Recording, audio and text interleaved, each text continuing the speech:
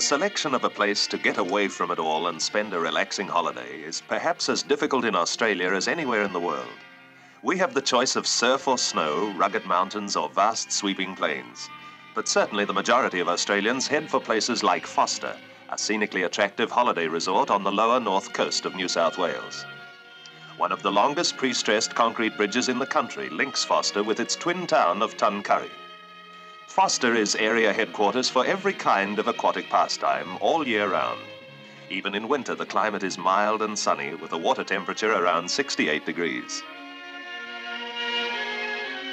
Just over 200 miles from Sydney by road, the district has many links with the early days, and the Pioneer Monument commemorates the arrival of the first settlers in 1862.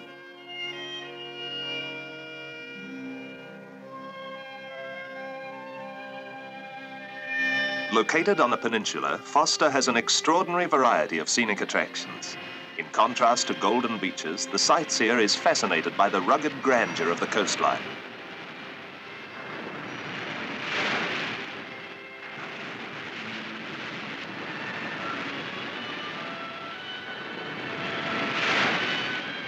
A visit to Bennett's Head is well rewarded, although the tourist finds that the locals are better equipped to negotiate the rocky surface. A colony of goats prefers to live in the comparative isolation the very nature of their surroundings provides. The youngsters are always the quickest to settle down to enjoy a holiday. An ideal place to revel in the thrills of rock surfing.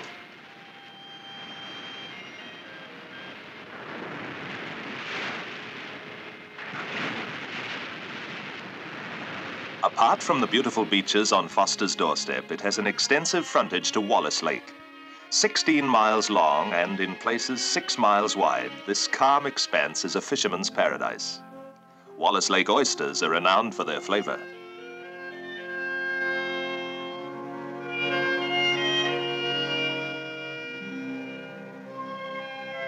Quite a handful and a real gourmet's delight.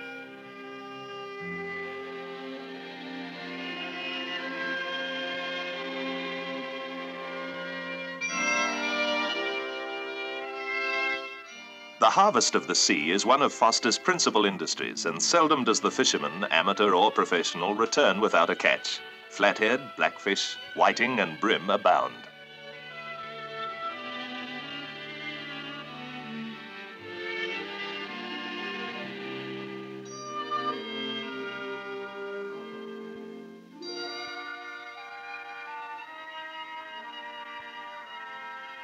The small fry are protected by law, so back they go to grow and be caught another day.